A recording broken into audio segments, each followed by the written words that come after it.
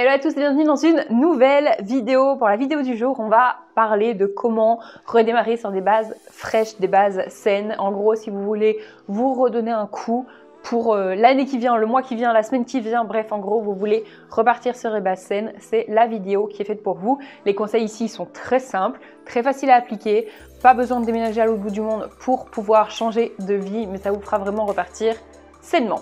Alors bien sûr, je vous fais cette vidéo à l'aube de 2021. Si vous la regardez le 23 mars 2025, c'est bon aussi, ne vous inquiétez pas, ce sera valable à n'importe quel moment. C'est juste que je sais qu'au début d'année, on est toujours un peu inspiré pour se relancer, se renouveler, etc. Et c'est le genre de sujet qui est idéal. Ici, je vais vraiment vous donner 5 activités qui vont vous faire sentir frais, inspiré, renouvelé, bref, tout ce qu'il faut pour repartir sur le bon pied. Premier conseil, faire un cleaning digital. Alors, le cleaning digital, c'est comme nom l'indique, un nettoyage digital. Première chose, supprimez tout ce qui ne vous sert pas.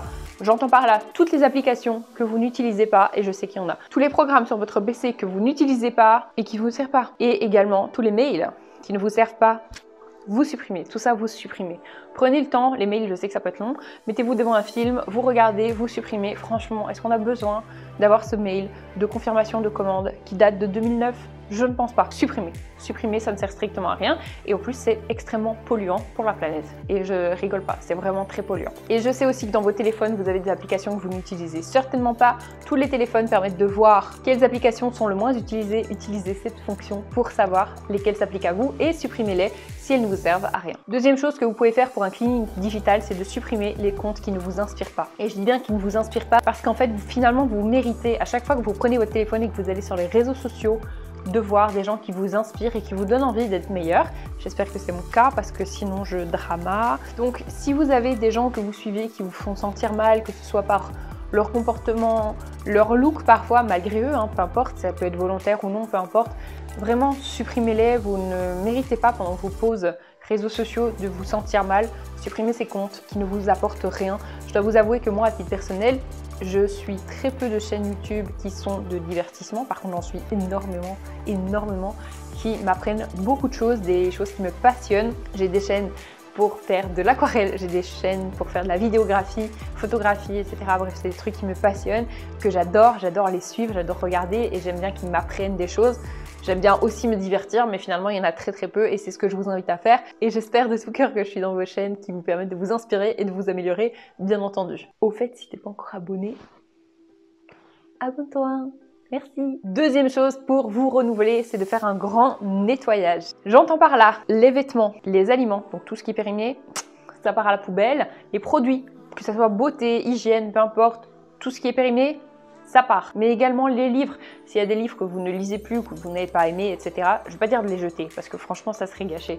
Mais donnez-les à la bibliothèque du coin ou bien, je ne sais pas chez vous, mais près de chez moi par exemple, il y a des box de livres à disposition. N'hésitez pas à les mettre à disposition de tout le monde. Si vous avez lu un livre, vous savez que vous n'avez plus le relire, ça ne sert strictement à rien de le garder.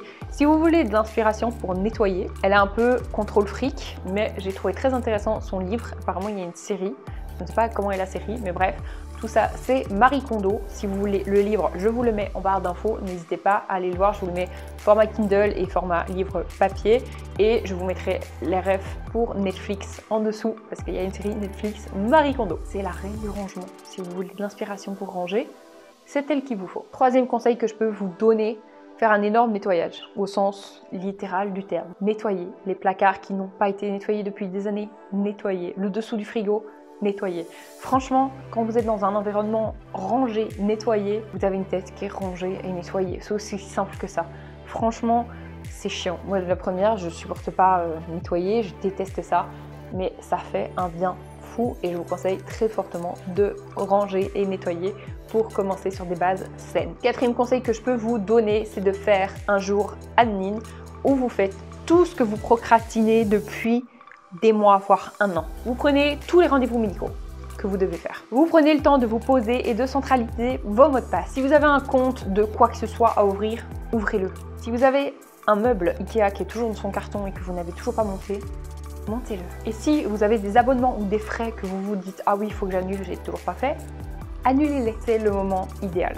Alors le mieux, c'est encore de le faire au fur et à mesure, mais si vous êtes un gros procrastineur des tâches administratives, franchement, accordez-vous une journée où vous ne faites que ça. Et cinquième conseil que je peux vous donner, c'est de vous asseoir, de réfléchir, de visualiser et de planifier. Faites une rétrospective de ce qu'il s'est passé l'année courante, que vous auriez pu maîtriser, ce que vous n'avez pas pu maîtriser. Typiquement Miss Corona 2020, le signe de 2020 que personne n'a pu maîtriser. Mais je suis certaine qu'il y a des choses que vous auriez pu me faire et que vous pouviez maîtriser.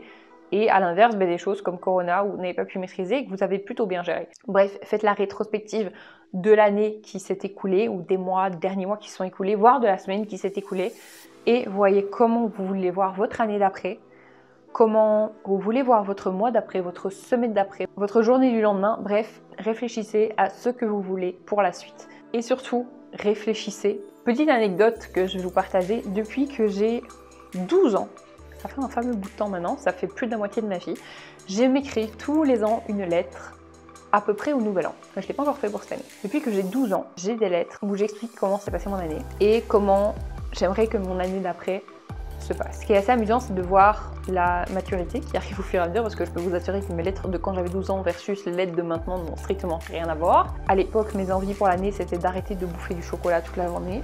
On était sur un niveau euh, foufou, quoi. Bref.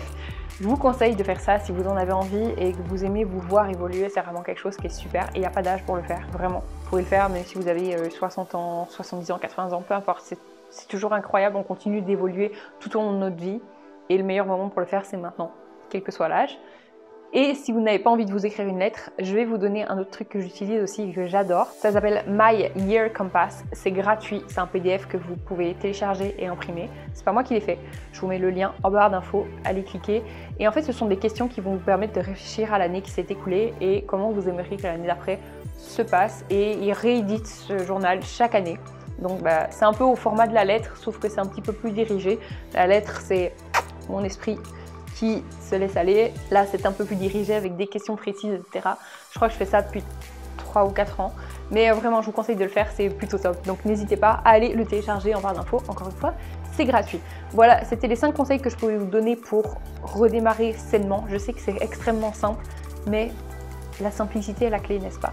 Voilà, j'espère que ça vous aura aidé, que ça vous aura motivé à redémarrer, ne pas vous laisser passer et puis si ça vous a plu, comme d'habitude, n'hésitez pas à mettre un pouce en l'air. Et surtout, cliquez-vous pour vous abonner et cliquez sur la cloche aussi pour ne manquer aucune vidéo. Et puis moi, je vous dis rendez-vous jeudi prochain 15h pour une nouvelle vidéo. Salut